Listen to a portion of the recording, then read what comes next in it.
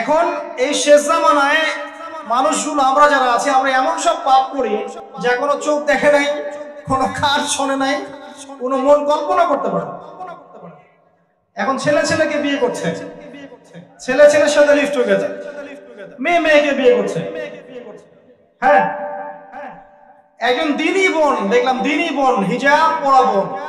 সে status দিচ্ছে যে আমি এক জায়গায় যেতাম একদিনই বোনের বাসায় আস্তে আস্তে আস্তে আস্তে তার সাথে আমার একটা আন্তরিকতা সৃষ্টি হচ্ছিল। সেই সেই মেয়ের আমার হাজবেন্ড থাকে দেশের বাইরে। তো ছলে বলে কৌশলে সে কখনো এই মেয়ের গায়ে হাত দেয়, কখনো এটা করে, কখনো সেটা করে। সে বলে, আমি তালিমে যাওয়া বাদ দিয়ে দিলাম। দিনই বোন। আর বাইরের অবস্থা কি তাহলে ভাবে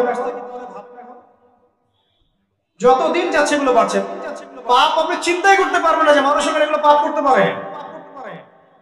মেয়ে মেয়ে একসাথে থাকে এবং একসাথে তারা একে অপরের যৌন চাহিদাও পূরণ করে। বলবেন যে এগুলো কীভাবে জানলেন? ভাই, ইন্টারনেট সবকিছু জানিয়ে দেয় এখন। এটা জানিয়ে দেওয়ার যুগ। আপনি বাসায় দেখবেন তরকারি রান্না করেছেন ফেসবুকে দিয়ে দিলেন। কাপড় ধুয়েছেন ফেসবুকে স্ত্রীর সাথে বাইকে ঘুরেছেন ফেসবুকে।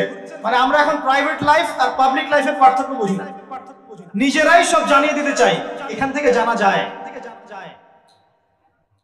মেয়ে মেয়ে একে অপরের যৌন চাহিদা পূরণ করছে। বলতে পারেন কীভাবে সম্ভব? সম্ভব করার জন্য যে উপকরণের দরকার সেটাও বাজারে চলে এসেছে। শেষ জামানা। এটা শেষ জামানা। আপনি কোন সাইনের অপেক্ষা করছেন? السلام عليكم.